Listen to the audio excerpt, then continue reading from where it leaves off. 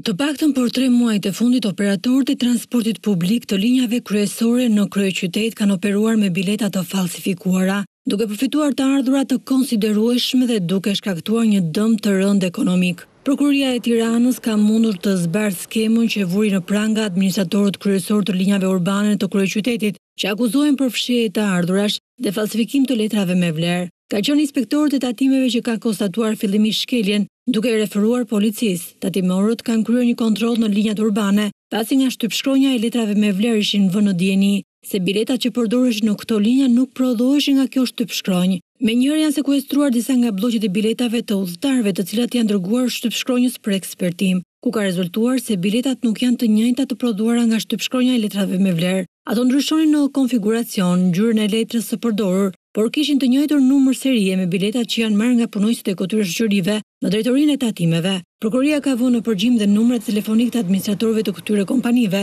dhe nga interceptimi i tyre ka rezultuar se pronari i firmës Ferlut, Ferdinand Ibrahimi, komunikonte me djalin e tij shtetasin Anastas Ibrahimi, në lidhje me disa dokumenta që donin t'i digjnin, pasi policia kishte shkuar në banesë dhe kërkonte që Ibrahimi të paraqitej në polici. Në këto momente, djali i tij Anastas ka marrë dokumentet e dyshuara të falsifikuara dhe ka tentuar të largohet por është ndaluar nga policia e cila ka gjetur në automjetin e tij tip Maserat, njëqind e pesë mijë bileta të dyshuara të falsifikuara, si dhe mandate arkëtimi të cilat u sekuestruan. Policia ka arrestuar tetë persona, të cilët pritet të dalin të premten në gjykatë për vlerësimin e masës së sigurisë.